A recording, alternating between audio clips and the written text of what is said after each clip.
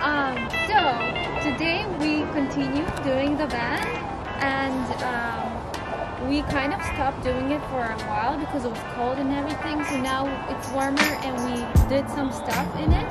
So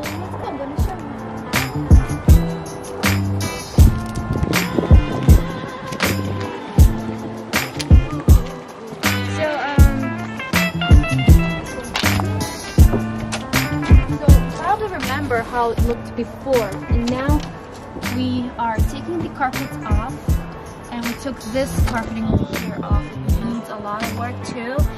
Probably gonna just wash it and paint it.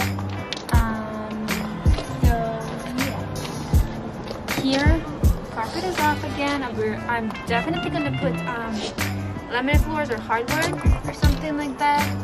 But the carpet was totally off, so the bed up here already. Um, the cool thing about this is that it moves into a bigger. Okay, you have to hold this thing. Yeah, move. Oh. Okay, so I still need to learn how to do this. Oh, yeah, and it needs to be screwed in too.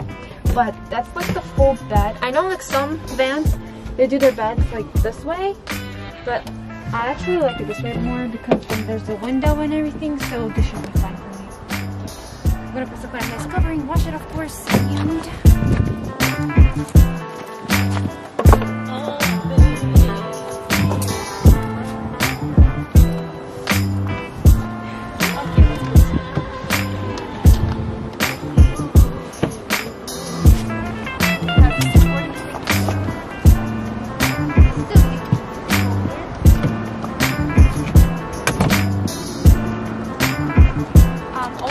that it has two gas tanks, which is very nice. I can, you know, travel long distance. Yes. Um, let's see what else. Um, the stove was here. I'm not gonna have the stove. I'm just gonna have the sink because I'm gonna have live plants and everything.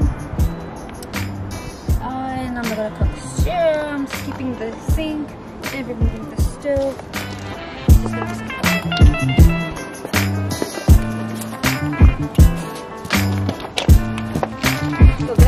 Stove. It looks like crap right now, but I'm gonna probably, well, obviously I'm gonna wash it and then maybe I'm gonna paint it or something, some other color. Yeah, so that is it. That's how it looks like now.